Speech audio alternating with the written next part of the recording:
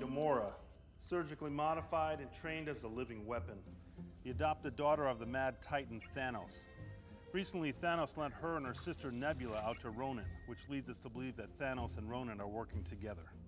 Subject 89P13 calls itself Rocket, the result of illegal genetic and cybernetic experiments on a lower life form.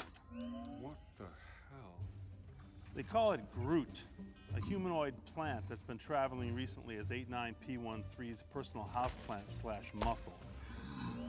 Peter Jason Quill from Terra, raised from youth by a band of mercenaries called the Ravagers, led by Yondu Udanta.